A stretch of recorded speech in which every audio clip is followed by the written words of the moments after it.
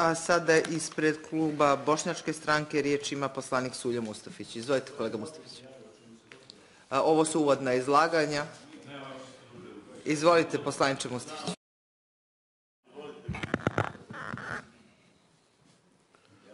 Zahvaljujem, predsjednice. Hvala, kolega Milotoviću. Poštovana Skupština, poštovani građani.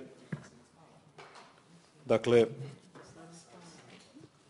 mi smo i u uvodnom izlaganju, odnosno proceduralno prije glasalo o dnevnom redu, kazali svoj stav o ovoj inicijativi. I tada sam kazao da ako vlada pogriješi i pošalje neustavnu inicijativu, Skupština ne smije da pogriješi zato što je Skupština najviši zakonodavni dom koji se treba starati o primjeni Ustava i poštovanju zakona. Ali dobro, vi ste to stavili na dnevni red i sada raspravljamo o ovoj temi. Dakle, kada je formirana ova 43. vlada na temelju memoranduma koji je potpisan prije nešto više od godinu dana, kao nukleusa većeg razumijevanja i dijalogu u Crnoj Gori, zaista smo je podržali zdušno, računajući da je to otklon od politike 42. vlade koja je bila diskriminatorska prema manjinama i koja je manjine udaljila iz svih mogućih mjesta odlučivanja. Dakle, da je riječ o inkluzivnoj vladi i vladi koja će se starati o svojim prioritetima u ono smislu da će poštovati redoslijed prioriteta kako ih je i zacrtala. Međutim, to se nije desilo, zbog čega to su duge priče i zahtjeva neku drugu analizu, ja se ne bih to da je elaborirao. U svakom slučaju nije uspjelo blokirati evropski put Crne Gore, nije uspjela ubijediti naše NATO partnere da našom našom državom i našim službama ne vršljaju koje kakvi agenti koji naravno narušavaju bezbjednostni sistem Crne Gore. I naravno u tom smislu mi smo smatrali da ta vlada ne zaslužuje dalje povjerenje i glasali smo za njeno nepovjerenje, čini mi se 19. avgusta. Naravno, vlada i dalje ostaje sve do onog momenta dok se ne izabere nova. Ali to je vlada u tehničkom mandatu i vi ste, uvaženi gospodina Bazoviću, premijer u tehničkom mandatu i ja vam se kao takvog i obraćam kao i svim ostalim ministrima koji su u tehničkom mandatu. A ova inicijativa koju ste uputili ka Skupštini je, smatram, politički nekorektna zato što je ustavno sporna. Dakle, Ustavu Crne Gore uz članu 110 jasno piše vladi prestaje mandat, prestako mandata Skupštine podnošenjem ostavke kad izgubi, kad izgubi povjerenje i ako ne predloži budžet i tako dalje i tako dalje. Vladi koji je prestao mandat nastavlja Vlada koja je prestao mandat nastavlja rad do izbora vlade u novom sastavu. Dakle, mandat, ta riječ je ključna. A u, u poslovniku našem jasno piše da se da vlada e, e, kad izgubi povjerenje, dakle, da njoj prestaje, prestaje mandat.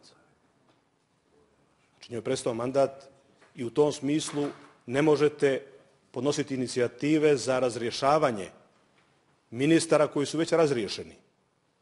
Jer je vaš kabinet jednom razriješen. Dakle, u pravu važi pravilo non bis in idem, dakle, ne dva puta o istome. Dakle, ne možete dva puta razrešavati iste ministre koji su već razrešeni na čelu sa vama. Dalje. Ja mislim da je i ova inicijativa politički nelegitimna.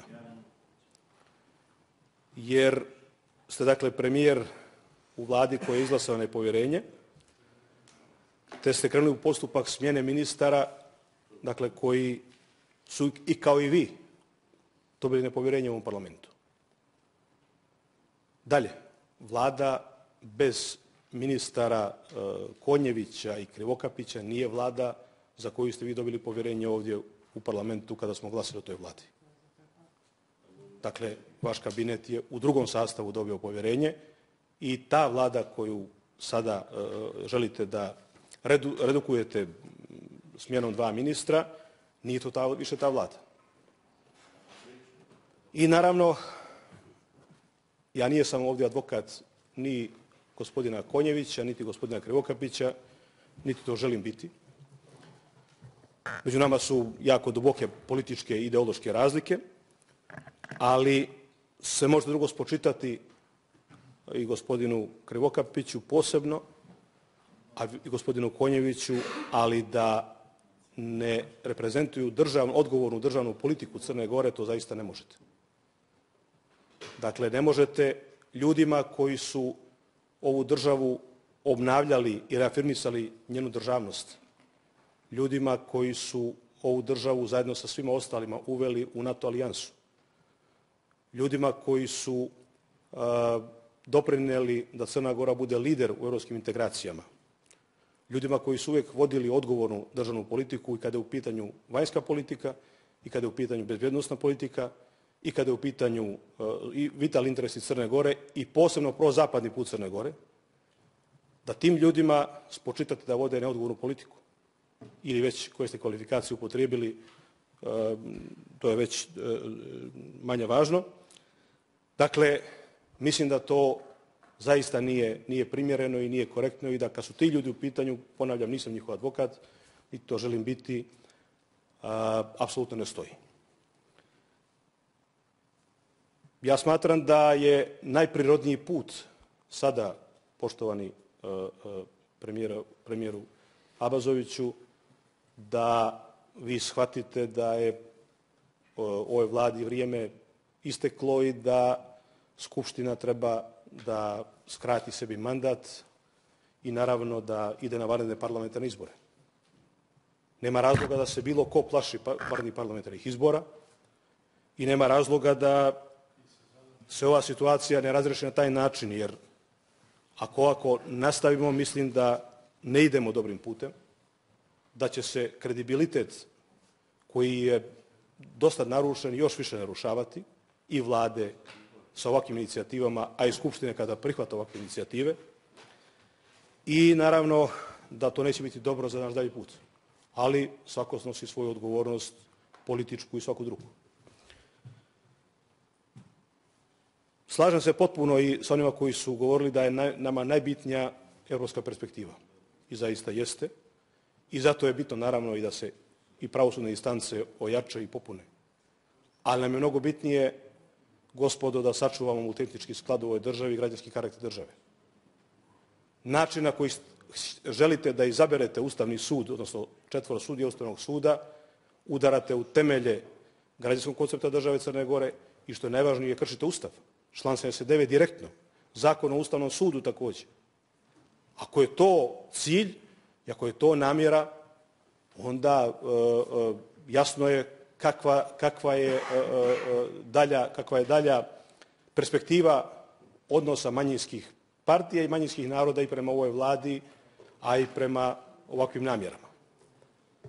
Dakle, ako niko od pre, predstavnika manjinskih naroda ne, ne dobije povjerenje da bude u, na listi za izbor za sudi Ustavnog suda, a striktno piše u zakonu i Ustavu da se to pravo mora poštovati, imperativna dakle norma, onda je jasno ovaj, uh, o čemu se radi.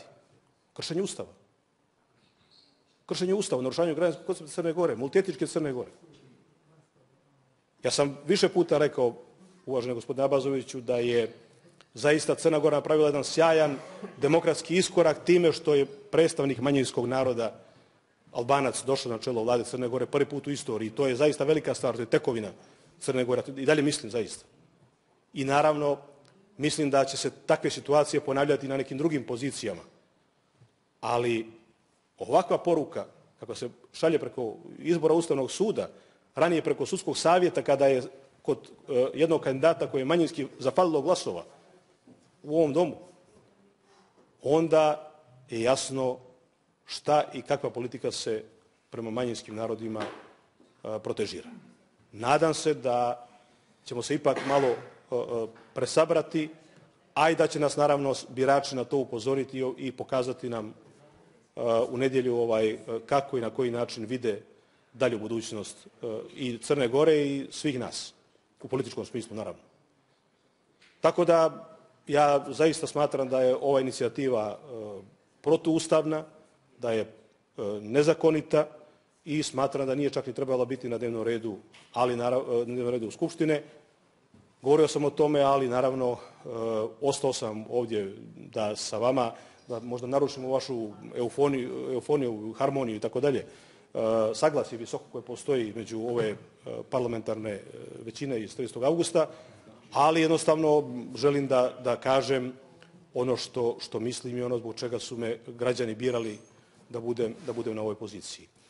Dakle, jednom vas pozivam da svi skupa razmislimo, da otvorimo vrata političkom dijalogu, da se presaberemo i da razmišljamo o tome kako doći do poštenih e, parlamentarnih izbora, kako napraviti e, vladu izbornog povjerenja koja će sprovesti te izbore, odnosno kontrolisati te izbore i naravno kako reformisati izborno zakonodavstvo. U tom paketu može bude i Ustavni sud, i sudski instanci i tako dalje, ali u svakom slučaju vrlo je važno da počnemo dijalog. Ja još jednom apeliram i pozivam na dijalog. Hvala. Zahvaljujem poslaniku Mustafiću.